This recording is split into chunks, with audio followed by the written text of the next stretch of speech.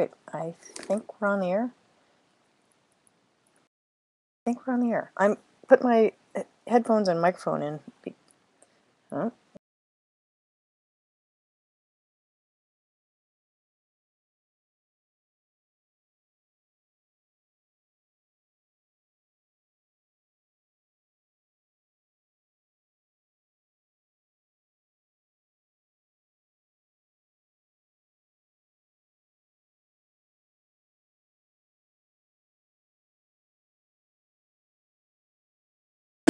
Couldn't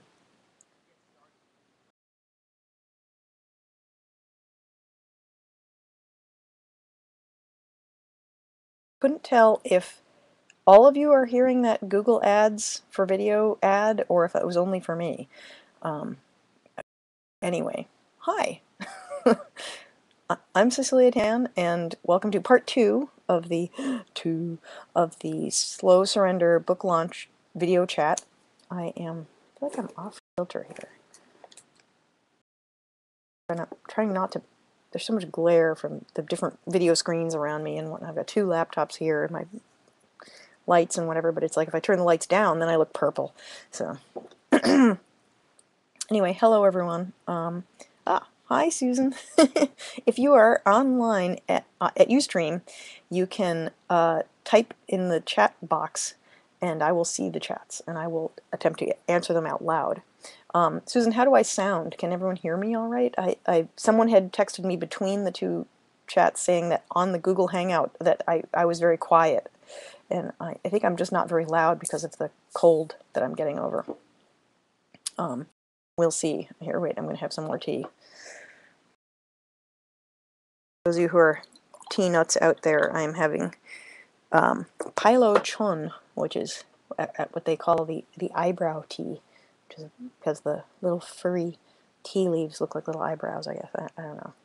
You know, every, everything everything Chinese has a poetic name, right?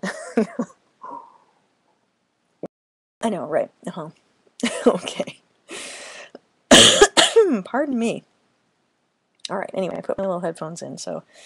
Um, if anyone has any questions, if you can't figure out, if you're watching this live, but you can't somehow figure out how to ch chat or you can't log in, you can always text me. I'm going to put my phone number. Yes, my real phone number. Text me to 617-290-9043 and I will um, happily answer there as well. Anyway, so just to recap, if you weren't with us over in the Google Hangout, which I just finished, I am um, promoting the release of my new ebook, which is called Slow Surrender. Now let's see if I can make it so you can get the, uh, the this is my iPhone, by the way. Yes, it looks like a book. Um, the, um, uh, it's out in ebook now. The paperback will be out August 5th.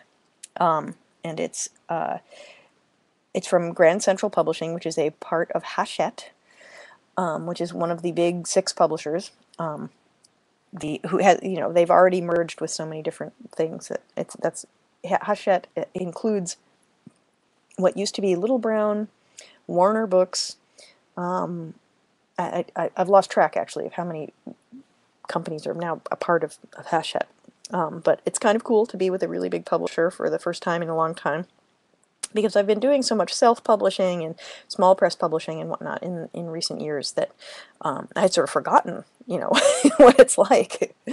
So, um, uh, someone wants to know, how do you, where do you get one of these little, the, the iPhone case that looks like a book with its, this is the, it looks like a, uh, that's what actually holds it in place. It, the brand name is called Book Book, um, and uh, amusing story, I invented this as a, a thing for one of my characters to have. In in a, um, I did a book recently called Entwined, um, which is a, a, choose your own erotic romance, which um, I did with a company called Colloquy. Speaking of small presses, and you know whatnot, they're not that small. They're they're pretty big, but they're they're a digital uh, press, and the idea was we four writers each started from a common first chapter and then we each wrote a, a novella that went off in um, different direction. I, of course, wrote the heterosexual BDSM one, or I shouldn't say, of course, since I can write I, every, I write every different possible kind of pairing, you know, and um, every different possible kind of sexuality. But uh,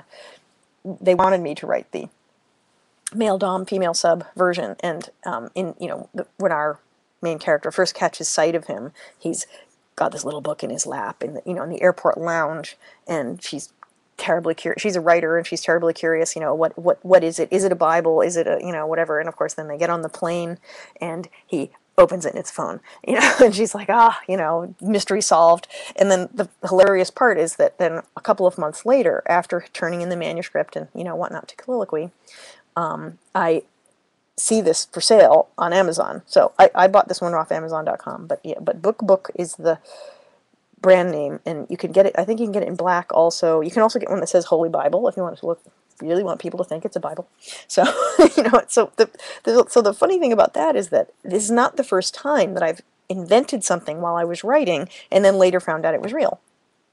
Um, it, it sort of happens all the time, actually. Uh, so, you know, and which I think is probably less that I'm somehow magically creating things, you know, into reality and more that I I pick up stuff in the I don't know, in in the ether, in the gestalt, and then it just, you know, I don't know, it just arrives in the fiction somehow. Um, that, okay, that sounded way too mystical. That's not really what I meant, but okay, maybe it is that I actually I imagine stuff and it becomes real. That's it. You know, it's much easier. that's an easier explanation. you know, I am a science fiction and fantasy writer as well as a, a romance writer, and so you know, some of those things can be pretty far out. But yeah, I um I actually had some self-consciousness about writing uh, writing this book. Um, so it's called Slow Surrender. It takes place in New York City, and it's uh, you know it's it's a mainstream romance. You know, except for the BDSM part. That's like that's the one non quote unquote mainstream part about it. Um, except that now that Fifty Shades of Grey and these other books, you know, have been so popular, it's it's that's less out of the mainstream than it used to be, right? I mean, all three Fifty Shades books are still on the top uh, in Nielsen Bookscan are still in the top 20 um, in trade paperback sales in the United States right now. You know, they're they're still selling at that level. You know, it's not like oh well, and then there was this one week when everybody read it, and then you know disappeared. No, it's still going on. Um, people are still reading them, and you know, uh, which is extremely fascinating to me um, because it's somehow like enough people are reading them that it's okay to read them, and then all of a sudden that's made it okay to read and to publish. You know, many other things um, sort of in that vein. So here I am, um, you know, writing my own version, if you will. I mean, you know, my my my incredibly rich, mysterious, you know, dominant male character with my, you know, young but not that young, you know, somewhat somewhat innocent but not that innocent, you know, um, uh, female character. It's a, that's not a new trope. Like that's not a new pairing, you know. So it's not like E.L. James made that up. Um, she did a very convincing job of of it, you know. Uh, and so this is this is my version anyway. Um, the book is called Slow Surrender, and it's the first book of three about these same characters that will, you know, continue on exploring their relationship and get kinkier and kinkier as it goes along. Um, so the first one is called Slow Surrender. The second book is called Slow Seduction, and the third book, of course, is Slow Satisfaction. So um, the uh, and of course the problem with having three books that are so similarly titled is that we get confused when you know me and my editor are talking about it. And so we, we just have to call them book one book two and book three because otherwise we're like wait wait wait which, which which one did you which one are you talking about? Oh yeah I, I meant the other one you know. So it's like if you name your kids things that are too similar you know or um, you know your pets or something it's like wait wait wait, wait which, which one are you talking about? So um, I do not have kids. I have books instead. But um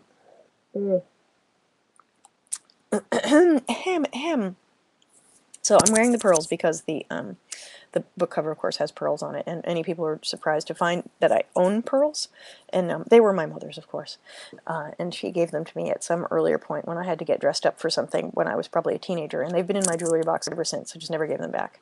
So thanks mom. They're they're very nice pearls. They're very they're they're real real pearls. Um, um, uh, however, yes, these are not the ones, the actual string that is on the book cover, and nor, of course, are they the ones that in, have, are used fictionally in the um, in the story. But I will say frankly that some of the things that happen with uh, this, a string of pearls and with other objects and whatnot in the story, you know, might make one question whether it was a good idea to wear them later. Um, uh, yeah, it's yes, it's that kind of book. Um, but you knew that, right? Uh, you know. It, so when people said, um, you know, oh, you're writing a BDSM romance, that sounds perfect because, after all, I've been a BDSM educator and, and erotic writer for over 20 years. Um, I think some people still weren't really prepared for how how much sex is in the book, and it's interesting because this this is this is a theme that I have seen you know over and uh, over again in my career is that I I write more sex scenes where more happens than a lot of writers do, and I, have always felt that it, it, there's a part of the difference between romance and erotic romance. You know, romance can be very erotic and have you know can have obviously sex scenes occur in them and you know whatnot, but because the fo- that's but that's not necessarily the focus in erotic romance just like in erotic literature. You know, the actual erotic action is the action through which the character is revealed and through which the uh, the plot really takes place. And given that this is a you know contemporary romance, as I was saying before, I felt a little self-conscious writing a sort of real world story. It's like there's no space aliens, there's no magic spells, there's no um, you know like like the plot is these two characters getting to know each other, you know, for the most part. So it isn't like um, uh, there's not going to be an alien invasion. There's not going to be um, there's no curse to be broken. You know, so it's like the uh, it's a little it's a very different kind of book to be writing than you know when you're writing science fiction and fantasy. It's like oh you know in the Prince's Boy the characters are on a quest. You know they're trying to defeat evil. You know and whatnot. And here it's like uh, uh and now we're getting to know each other. Um, you know so it's you know it's a very very different style of writing. Um, I wrote it in the first person from Karina's point of view because I really wanted uh, the reader to just be able to have direct access to what her thoughts are. And she's she's a fairly reliable narrator. Um, you know she's learning as she goes along but she's but there are times when she's clueless and she's like what the hell was that? And you know at times when i think you know a reader might also be like what on earth is going on there? You know? And but that that gives you an idea that oh she's going to find out the answer you know? She's not going to leave you hanging. Um, some of the answers won't come of course till books two and three but you know it's uh, that was sort of the idea. Um, hang on i'm getting a text. Okay that one isn't a that isn't a question. I'll just I'll talk to you later. Thank you, though. um, I, will put that number up again. Anyone want to text me a question? It's that's my phone number. Um, or log in, you know, create yourself a little free login on Ustream, and you can get in this little social stream here. And so there's a little chat tab, and you can type in the chat, and I will I will answer.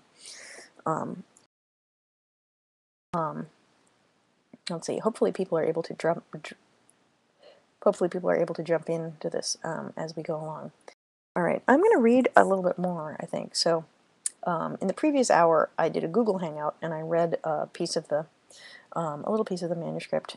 Um, I'm going to read a little bit more. This one is not available anywhere else other than in the book. So um, there is a, about a chapter and a half the first chapter and part of chapter two um, on my website at ceciliatan.com. So, you know, if you want to read it. But then I wanted to read a little something more, something special for people in the chat um, that isn't available elsewhere.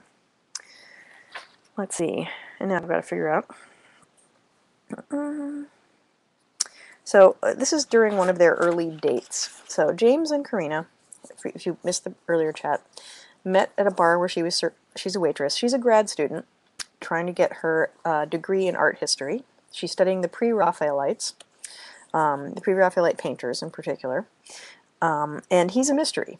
All she knows is that he's, uh, you know, he's obviously very rich, and he was sitting there drinking alone, and she, um, you know, they started flirting, and you know, it's a romance novel, so you know, it's not a surprise. they get talking, it leads to more things, um, so forth uh, one of the things she learns immediately, of course, is that he's he's a little quirky in uh, certain ways, where he's like, you know, do you want to um, do you want to play a game? And you know, they she's like, what are the rules of the game? He says, well, they're you know, I tell you what to do, and you do it. uh, you know, that's it. And she said, oh, what do I win? And he says, well, I'm a genie, I'll give you a wish. You know, that sort of thing. So um, uh, initially, the things he has her do are not overtly sexual, but of course they progress to that. So now they're actually going on a date where he has told her beforehand what to wear, but he's given her sort of sketchy instructions on what to wear. But she's kind of figured out the fact that he has not mentioned underwear means that so she's decided not to wear any. You know, she's wearing this um, mini skirt and uh, stockings. You know, but uh, you know, like the real stockings with garters and whatnot. But she's um, you know, so okay. So anyway, here's the conversation where they're in the limousine on their way to the where they're going. She doesn't know where they're going yet either. he drew a he drew a handkerchief from his breast pocket and dabbed his forehead. Nice to see I wasn't the only one affected. They've been talking for a little while.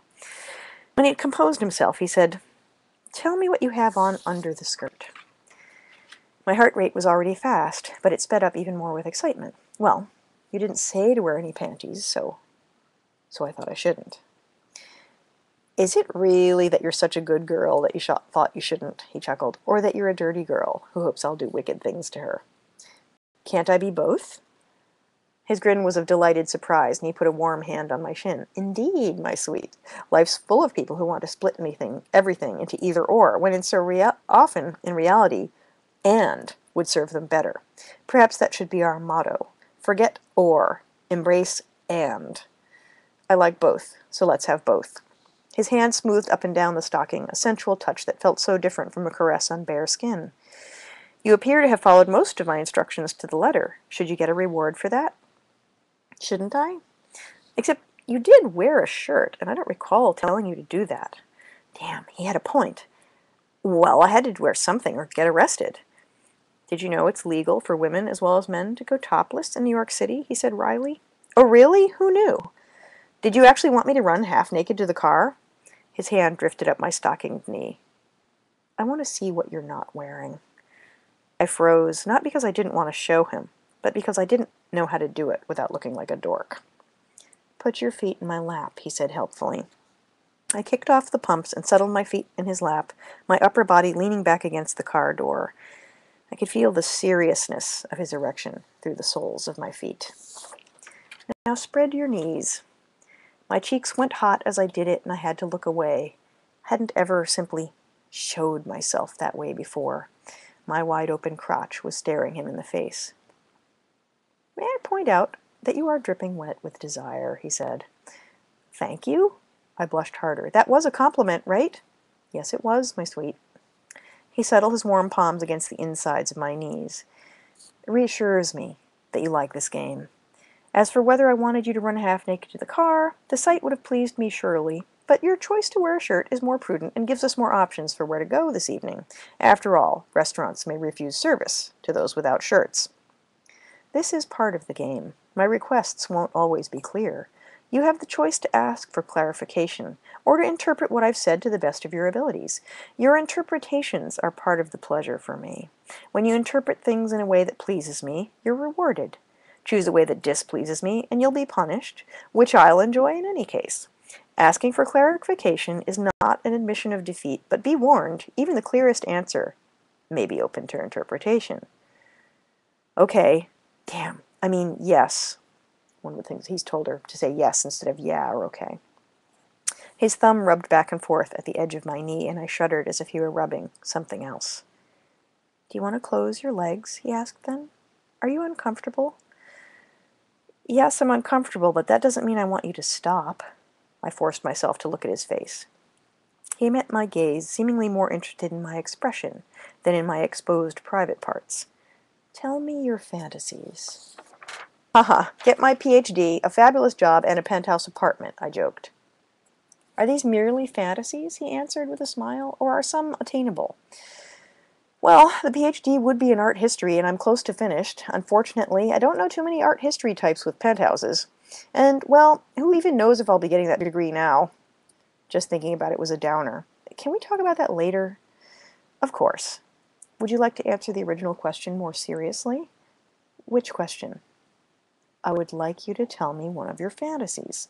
Sexual fantasies, if I need to be specific. He switched to his other hand and kept caressing me. I wanted him to touch me somewhere more intimate than my knee. After the way he'd touched my breasts earlier, I had a feeling he wouldn't be too rough or too impatient. Oh, geez, I don't know. I racked my brain, trying to at least make up something that would be sexy and sound interesting. I used to fantasize all the time when I was a teenager. I didn't know anything about what sex would be like, so my fantasies were always very vague. And then after starting to have sex, I, I don't know, there, there really isn't much to tell. I blushed. I've fantasized more about you in the past three days than I have about anyone else in the past three years. There it was again, the oh really eyebrow. Seriously, but I keep stopping myself. The eyebrow went even higher. Why? Because I get the feeling the real thing is going to be better than any fantasy I could come up with. Refreshing, he said with a nod, but the fantasy doesn't have to be physical. I'll let you close your legs when you tell me one fantasy of yours. I watched his gaze drift down my legs and my wide open lips, and my clit throbbed as if his fingers were brushing it. Then he looked back at my face, and I had to come up with something to say. I guess when I was a girl, I, I had romantic fantasies at least, if not sexual ones. Go on. Although, who knows, maybe that's the whole point of fairy tales. They're actually about sex. We just don't know we're, we're hardwiring our little girls to mistrust older women and to, to crave getting pricked. Karina, you may indulge in a feminist critique of your fantasies later. Tell the fantasy first. Prince Charming, I said almost in a whisper. whisper. Cinderella, the night at the ball, him kissing her foot. I don't recall Prince Charming kissing Cinderella's foot. Er, well, maybe that's only in my fantasy version then. He smiled. Perfect. As you're not sure whether closing your legs is a privilege or a punishment, I have one more request. Yes? He opened a small compartment in the back of the front seat and pulled out an ornate box. He flipped open the lid. I could see a pair of marbles, these larger than the previous one, with more swirls and colors inside them. Have you heard of Ben Wa balls? he asked mildly, tilting the box at an angle so that the light glinted off the glass. I've, I've heard of them, but I wasn't sure they were a real thing. Quite real. Supposedly brought to Europe from China in the 16th century. They can be made of solid jade or metal with chimes inside, or glass, like these. He held the box toward me. Traditionally, they are for one thing. Female stimulation, I guessed? Insertion, he said, voice roughened by desire. I'll leave you off there.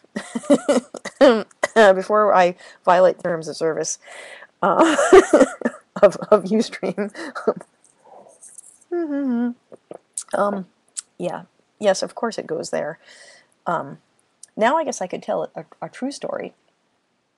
Um, a true story about myself and uh, and glass Ben Wa balls, um, which is basically boils down to they can get stuck.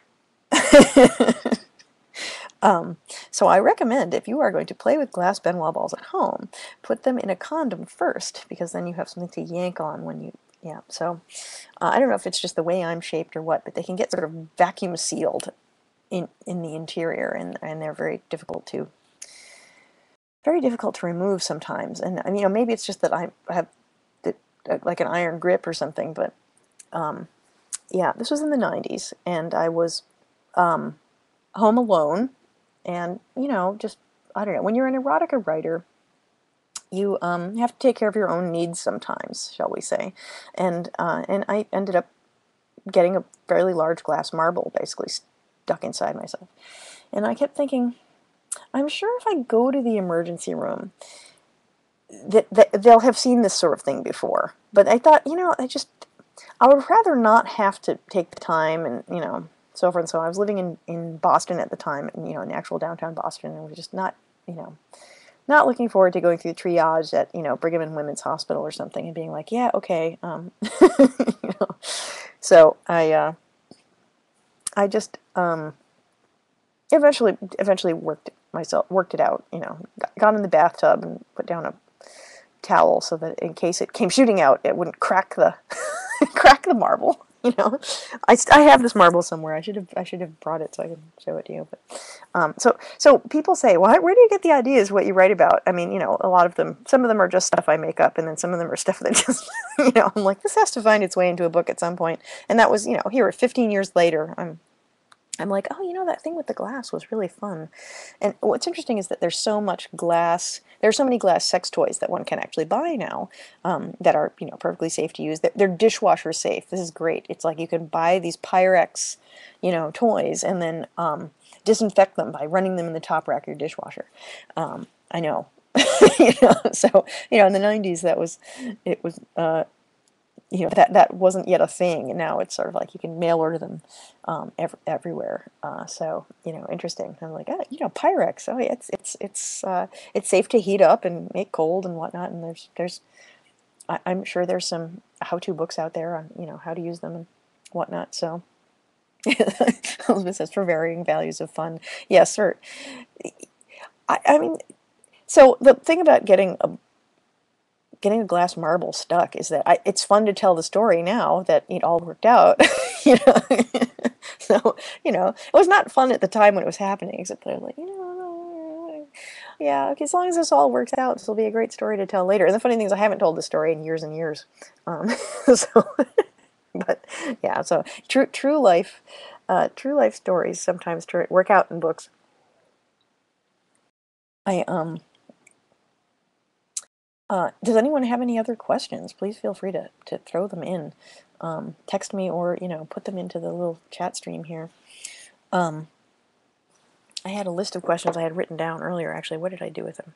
Um, uh, this is the problem with doing live chats, is that I buried it on my desk already.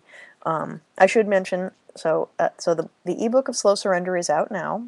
Um, it's on sale basically pretty much everywhere ebooks are sold. I mean, you know, Hachette is a major publisher, so they're, um, you know, Amazon, Barnes & Noble, Kobo, I think, you know, whatever. I haven't even found all the places it's on sale. Google Play, etc. Um, the paperback comes out August 6th. So um, the first place I'll have them for sale um, where I can autograph them hopefully will be at the Geeky Kink event, um, New England, which is August 16th through 18th, I think. It's in uh, it's just outside Providence at one of the airport hotels. So if, if you Google Geeky Kink event, um, you should find the information about it. Um, so I, I am, I guess, uh, going to be participating as some form of pervert of honor at it. Um, so uh, I, I will, I should have, hopefully will have received my copies by then and we'll be able to show them off. Um, and uh, then the book two, because it's a trilogy, because everything has to be a trilogy now that Fifty Shades of Grey was a trilogy. Um, the book two will be out January 28th, uh, 2014. So that's in about nine months, I guess. You know, don't read too much into that. it's that's that's how long it takes to to make a book, and it, that'll be both the ebook and the paperback of book two will be out at the same time in January, and then book three they haven't given me the date for yet, but it'll be sometime next year. I'm assuming another nine to ten months later.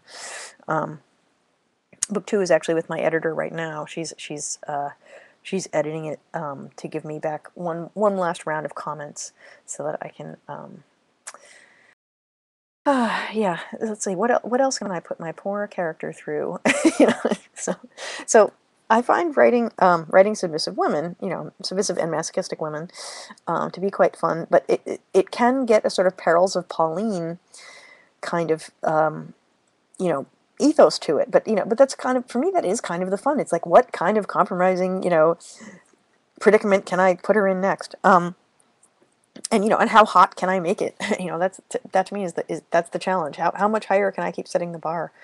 Um, you know, and then uh, that yeah, I don't know. That's to me that's all the fun, and it's one of the reasons why the book starts as tamely as it does. Maybe you know, is because oh, it's going to take a while to go where it's going to go, but it's going to go some fairly intense places. Um, so, and I want to, you know, don't want to just didn't want to scare people off right away in the same way that James does not want to scare Karina off. You know, he's he he's very taken with her right from you know sort of first sight. Um, so and is curious. You know, well, let's see what what happens. Um, so much will be revealed about him and his motivations and his hangups, you know, and, and whatnot as time goes on, um, as the books go on. So, pardon me while I pour myself a little bit more tea. I spent all last week in bed um, sick, basically. It was not fun. Um, the uh, whatever the, the the cold is that's going around. I picked it up at the Fetish Fair flea market actually in February. Um, I, I uh, directed a big fetish event in Providence, Rhode Island. Um, we had about 3,000 people there, um, you know, and uh, it snowed even during that weekend. Not one of the heavy snows, but, you know, so it was pretty cool that 3,000 people came out just to, to try on corsets and, and go to classes and, and try out floggers and, you know, um, I, I, you know, I sold books and, you know, whatnot like that. It was a, a good time.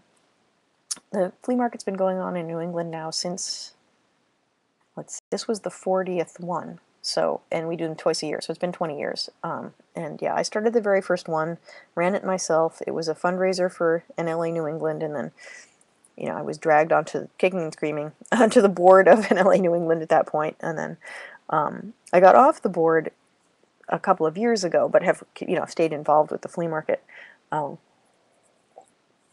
if you are in New England and you would like to be involved in making the world a safer place for people who are into BDSM, that is the statement of purpose of the New England Leather Alliance. We incorporated in the state of Massachusetts, and so we changed our name from NLA New England to New England Leather Alliance. Um, has a lot of ways to get involved. You can you know, everything from, okay, there's no licking of envelopes anymore because like everything's on the internet and so we don't mail out a newsletter and stuff like that anymore, but there are, there are monthly board meetings.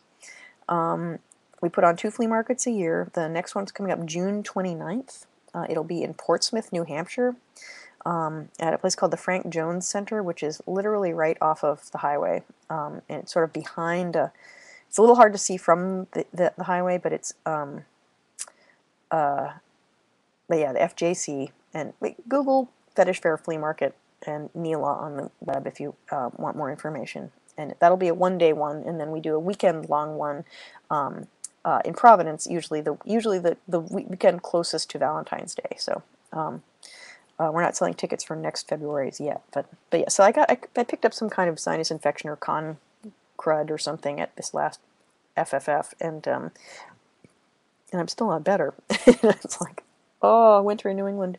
Now I know why people move to Florida, right? Um, my parents moved to Florida, and I'm going to visit them next week, or actually later this week. So, uh,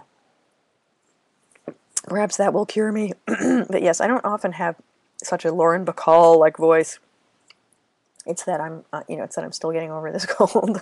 so, I know colds are not sexy. Cecilia, talk about something else. mm.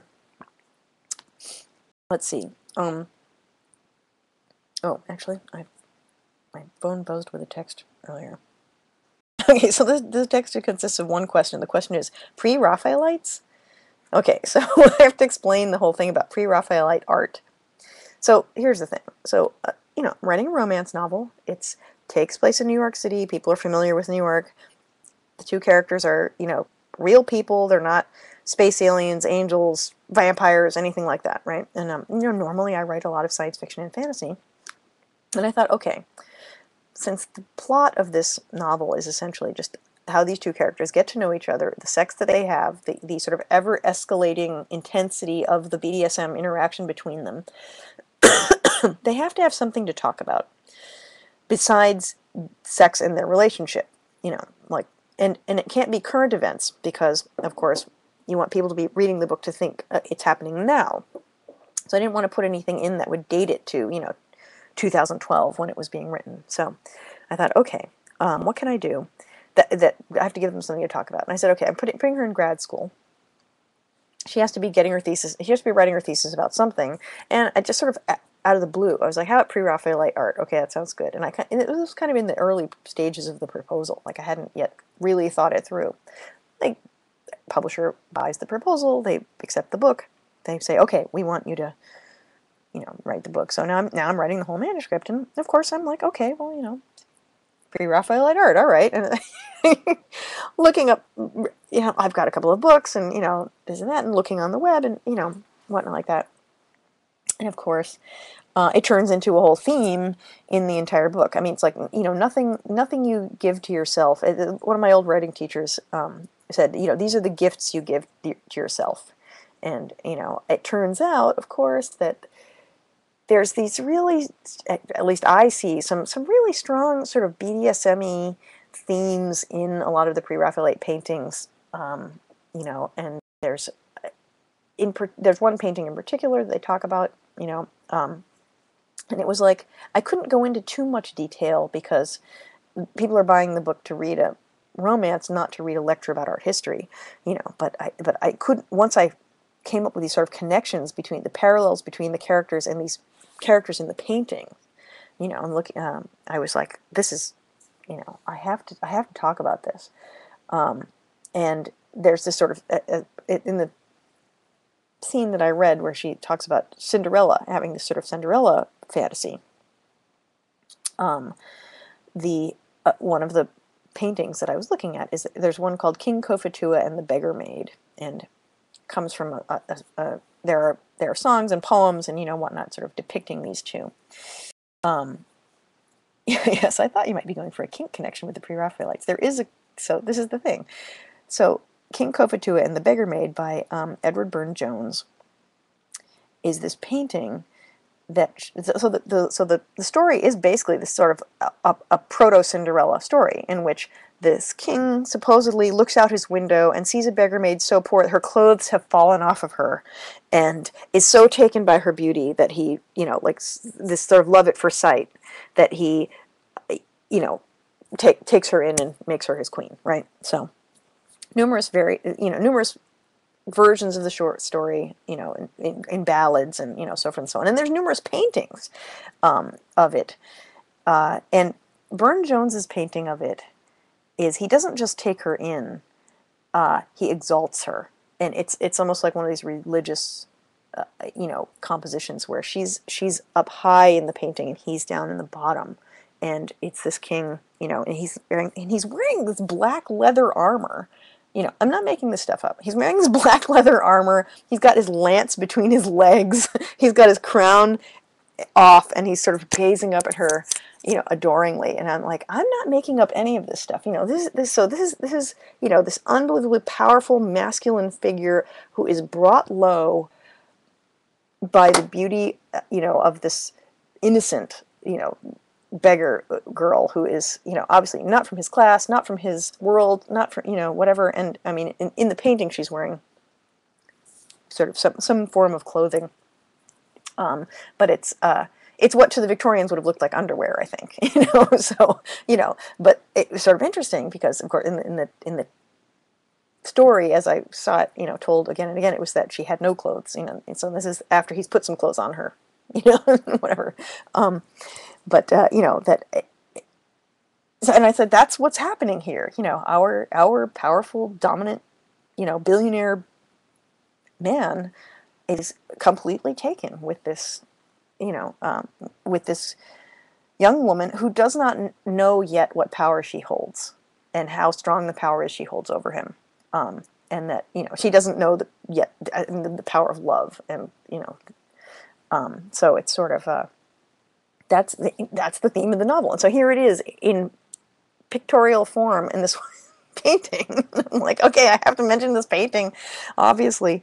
Um, the funny thing, here's here's another one thing about conjuring things into existence that, you know, it's like, so one of the things I have happen in the book is he introduces her to a, a, a an art curator at some point from England um, because they have to they have to talk to somebody besides each other and they have to talk about something besides sex right so at some point he introduces her to this curator and whatever because it turns out he has these art world connections you know whatnot right? So um, and book two takes place in London and what I have him it, it have happen is that this curator I made him a curator at the Tate and I said, oh, we're going to have this special exhibition of pre-Raphaelite art, and he needs an, sort of an expert on the pre-Raphaelites um, to, but he needs an expert who's not a British citizen because he, he has special donors who have given, you know, whatever, obviously this is not the real this, this does not really happen at the Tate, as far as I know.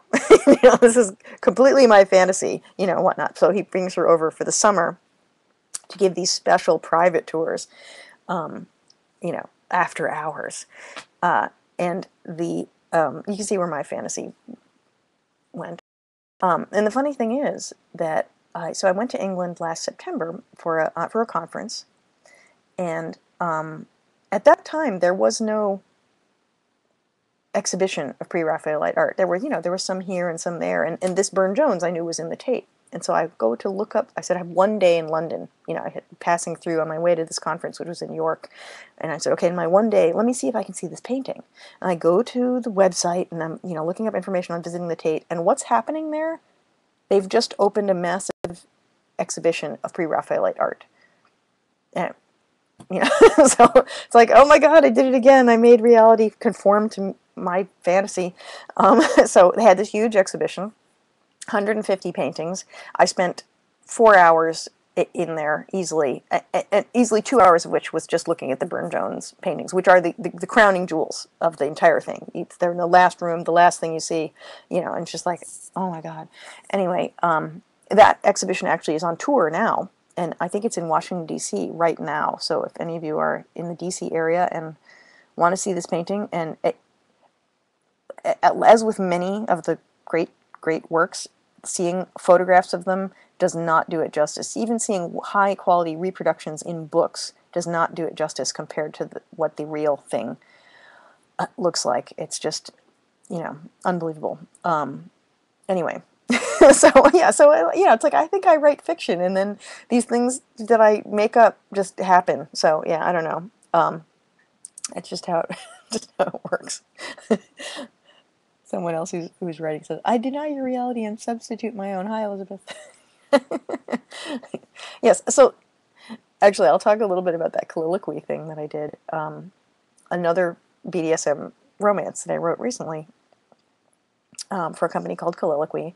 The, the book is called Entwined, or the series is called Entwined. This one is called Unbound, and then each of the four writers who are in it wrote a separate piece. I wrote the piece called Dear Girl because it's an actual sort of British British BDSM, you know, scenario, whatever, in which our our American heroine gets together with this mysterious, you know, billionaire as usual. for some, some reason, all these guys into BDSM, yeah, um, are are billionaires or or at least millionaires, um, and uh, and he calls her dear girl, um, so that's where the the title comes from, and um, uh, so what's funny about this is so we were each of four different writers wrote four different versions of the story, and then they have a website where readers of the book can go and write their own endings also. And I read and read a bunch of them, and they're they're they're fantastic. One of them has her coming home and getting it on with the doorman at her building, and you know, it's just like, I, fantastic. I I love that kind of stuff. Um, so all right, Susan says, write me a story about me getting rich. okay. all right, we'll work on that. I've been I've so here's one of those things. I took I got an MFA, or actually I ended up getting an MA, but you know I was in an MFA program um, in the 90s at Emerson College. When I quit my day job in book publishing because I wanted to write full time, I said, oh, I'm going to go to writer boot camp, basically. Like people were like, oh, why don't you go to Clarion, you know, and whatnot. I'm like, no, no, no. You know, like six, eight weeks, not enough for me. I wanted two years, you know, two years to find out, could I write enough in, you know, two years to finish the degree and, you know, really, you know, I said I can't make it as a writer if I can't make it through writer grad school, basically. So I, I went, so I went to grad school, and um, a lot of my grad school stuff is in Karina's novel, obviously, because because she's in grad school. So I, um, you know, one of the things they tell you in these writing workshops is that wish fulfillment is bad. And what they don't tell you in these writing workshops is that every rule that they give you is that it is something that is bad in the hands of a writer who is not a very good writer. Um, you know, so they so they tell you things like don't ever write about a writer. And you're like, but you just said write what you know, and I'm a writer, you know, stuff like that. So you know, and then you look at books, you know, what which are the books that have won the prizes, you know, so forth and so on. Of course, there are some that are where the main character is a writer, and you're like, you know, well, how come Martin Amis can write a book where the main character is a writer? Well, Martin Amis is an award-winning writer, and it's like, well, how do you get, you know, this is these are the things that when you're young and impressionable, you know, they start telling you things like, well, they also tell you don't write science fiction or fantasy, don't write this, don't write that. The only thing that's really acceptable to write is literature. But um, the thing is, the kind of literature that is written in MFA programs is itself a genre. And um, and I could have written a thesis about that, but then I thought, that's going to really get me in trouble. Instead, I ended up writing a, a, thesis about the history of Circlet Press, which is my um, my my small science fiction company, um, and I basically wrote a uh, history of the erotic within the fantastic literature. So, you know, the history of erotic science fiction such as it existed in the early 90s, um, which was to say there wasn't much of it, you know, at the time. There were there were some touchstones where different things had tried and different writers had tried and whatnot. Paranormal romance didn't even exist yet, though, as a genre. Let's put it that way. So this mixture of the fantastic with the with with the erotic or with BDSM was like, you know, it was like mixing peanut butter and chocolate. Like no one had done that. How could you do that? And then of course once we started doing it, people were like, oh well, that makes perfect sense. Um, so you know, but they tell you these things though. So they, they tell you wish fulfillment is bad. And um, and I'm like, no, I think wish fulfillment is one of those strong paints on the palette that you can't overuse or you'll it'll be bad. But if you use it properly, you know, you, you if writing is an act of communication and what we're trying to communicate is to create an experience in the reader that is if the craft is about creating the experience that you, the writer, have in mind for the reader, as opposed to whatever the reader has in mind, then, you know, nothing is really off limits in that case. You know, it's not like, oh, there's words you can't use. It's like saying there's letters you can't use. Don't use those letters of the alphabet because the, you know, honestly. So, you know, you, you learn what what the rules are and then you learn how to break them. And um, one of the early stories that I wrote, one of the early meta stories, I guess, that I wrote, is I wrote this erotic, uh, I wrote an erotic story about Derek Jeter. And those of you who follow my blog and whatnot know that I'm a huge baseball fan. And in the olden days, I, I was not yet a professional baseball writer at that time. I was just, you know, I had a little write baseball blog and, you know, whatnot like that. I didn't think I'm going to end up, you know, actually, uh, you know, the, the now longtime editor, I'm the longtime editor now of the Yankees Annual, which is an annual magazine. This year it came out from Lindy's and was called In the Dugout Yankees, but same same magazine I've been editing um, for many years um, and whatnot. And that you know that I would become a, a, real professional baseball writer. So you know, but I wrote this. I wrote this for a. There used to be a zine in the '90s called Starfucker, that was uh, published by uh, a gr great woman from San Francisco named Shar Rednour, and it was basically all real person fic. It was all sort of fanfic about real people. Um, you know, but it wasn't coming from the fanfic community. It was sort of like she was doing it uh, sort of on her own as this, just this, this zine, you know, sort of photocopied and stapled, you know, and whatever. And I wrote her, um, and I said, do you do, do you ever do sports figures? You know, like most of them were, were musicians and, you know, TV stars, movie stars. And I said, what about sports figures? And she's like, oh, we don't, we've had hardly any of them. And I'm like, oh, I'll write you, I'll write you a sports figure. And she, um, actually then sold the rights to the best of sort of Starfucker for an anthology from Alyson Publications. So this was actually in a book in bookstores that was, you know, in Barnes and Noble and you know whatnot like that. So it was this this this Derek Jeter and me story basically. But because it, I was so aware that what I was writing was supposed to be this kind of wish fulfillment that the story is self-aware in which I say things like, you know, so the first time we met was such and such. You know, the second time we met, it? I think the line is something like, the second time we met, I was out with my best friend um, celebrating the sale of her screenplay, you know, that kind of a thing. And it was like, you know, I'm like piling on the wish fulfillment. It's like, okay, so now my friend has sold her screenplay, and then I ran into him by the restroom, you know, kind of a thing. so, you know, that kind of stuff. So it's like, you know, so so hey, it could happen. I could write a story about you getting rich, and it, who knows, it could it could come true. Uh, you just you you can't tell you never know where fiction, the where fiction and reality are going to intersect is, you know, is always going to be an interesting thing. So, um, my uh, what so what I haven't decided is exactly in book three. I know what's going to happen. What I haven't decided is where it's going to happen. So, book one is New York. Book two takes place pretty much in London with a little bit in New York. All in again in places that I've been to. Um, cafes that I've eaten in, you know, this, that, and the other. I just ever since getting, you know, a phone that is a digital camera, it's like I'm just everywhere I go, it's research for something, some story, sometime, you know. So I haven't decided where where book three is going to take place yet. And um, I mean, it would be sort of a cop out to set it in Boston because that's way too easy. So that's where I live. Um, so I don't know. It might have to be L.A., but I'm not sure. I don't know. I haven't. Thematically, it will. The story will eventually tell me. You know, no, this is where it needs to be. So I haven't haven't decided. It might end up back in New York, also, it's possible, or it might end up like in Ohio or something, which is where her mother lives, and um, or maybe they're going to have to travel around between all these places. I don't know. We'll we'll see. Um, given that I uh, am still writing book three right now, I don't I don't have to answer those questions just yet. But I don't know. Maybe I'll make a I'll put a poll up on my website and say where where should book three take place. But maybe I'll wait till after book two is done, so people can see where where it's gone. I don't know.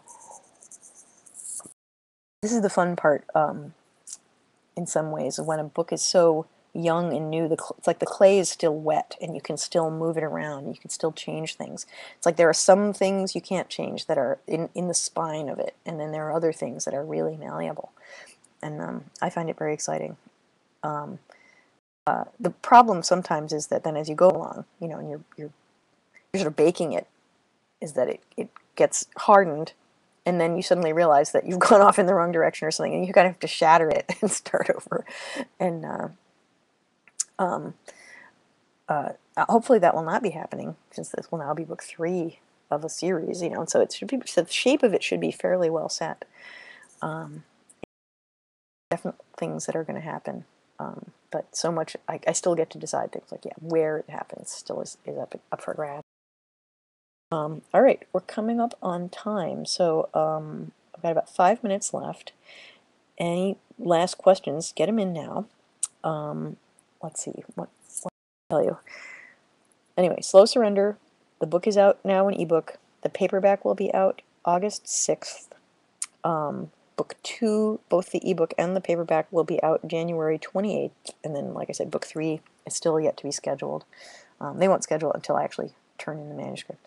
So, I know, funny, funny how that works. Um, and we don't have cover art for book three yet either. We have a, um, they did send me a, a, a draft of book two though, which still has the pearls, but the pearls are off the string. They're sort of rolling around on silk and I'm like, you know, separate and I'm like, oh, this fits my theme. This fits my theme perfectly. So, you know, I know it's funny. It's it's like it's almost abstract art. It's uh, but it fits. So, I don't know. I'm very happy about that. Um, working with a big publisher is interesting because there's so many people involved in the project. You know, it's like I've got two different publicists, editor. There was a separate copy editor, separate proofreader, the art department is a whole nother department, you know, whatnot like that. And it's sort of like, um, it's like the difference between making a YouTube video and then, you know, like going to make a film and there's, where there's, you know, a cameraman and a lighting person and a costume person, you know, and whatever. It's so like all of a sudden there's this whole, um, uh, this whole sort of staff, you know, involved in it. It's just like the emails are going around constantly, you know, we're all CCing each other about different stuff. And um, it's fun to have a team though, because it, I'm so used to doing self-publishing and you know small press publishing where you I have to do everything myself, you know, and that, that, and I'm obviously I'm still I set this chat up myself, you know, so forth and so on. I'm, still doing quite a bit myself um, because uh, today as an author you have to you can't just sit back and wait. You know, the publishers don't have the resources to do it all either, you know, and they don't they're not the ones who have access to the people who have been following me, you know, for 20 years of my career. So you know, my social media obviously is my friends and my family and my readers. So, you know, they don't they don't have any of that. So um, that's why I get to do cool stuff like this. Let's see. Sorry, cat. Um, I guess the closing message is um, follow me on, you know, whatever social media you want, uh, and I will probably do this again in August when the actual paperback comes out, and then I'll have an actual book that I can like hold up and point to. Um, the uh, let's see, closing message. Closing message is, you know, yeah, I guess that's the theme, right? Is that you fantasize things and they become real, and I, am not the only person who does that. So you know, you imagine the love that you um, that you need or that you want. You imagine the people in your life who, you know, would, would make you complete, uh, it, it, it works. If you can imagine them, they will come true. They will come to you. Um, and uh, that's what I've done over and over. I mean, Corwin, my partner, who has been with me now, we're coming up on our 22nd anniversary. Um, the second story in Telepaths Don't Need Safe Words is about him. And I wrote it before we got together, and I essentially conjured him into my life. Um, yeah, so so it, it really works. You know, it, it actually it actually really does work. Kind of interesting. So thanks for being with me tonight, everyone. And um, again, if you want to ask me questions about BDSM, writing, romance, anything like that, Google me and drop me an email, and I will see you around.